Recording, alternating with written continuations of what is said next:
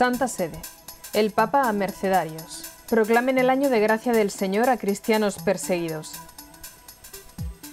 El Papa Francisco recibió a los miembros de la Orden de Nuestra Señora de la Merced, cercana a celebrar ocho siglos de fundación, para alentarlos a proclamar el año de gracia del Señor a los cristianos perseguidos y no poner su confianza en las propias fuerzas, sino encomendarse siempre a la misericordia divina.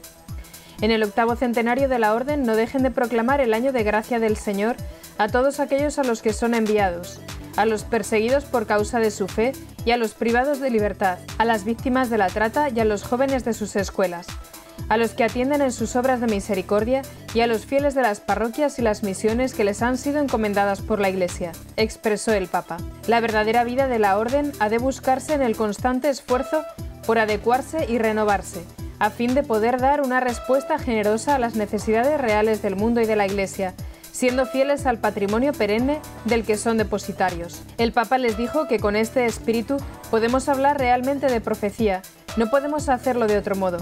El profeta es un enviado, un ungido.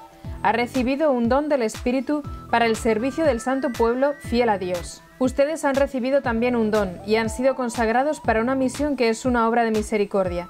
Seguir a Cristo llevando la buena noticia del Evangelio a los pobres y la liberación a los cautivos.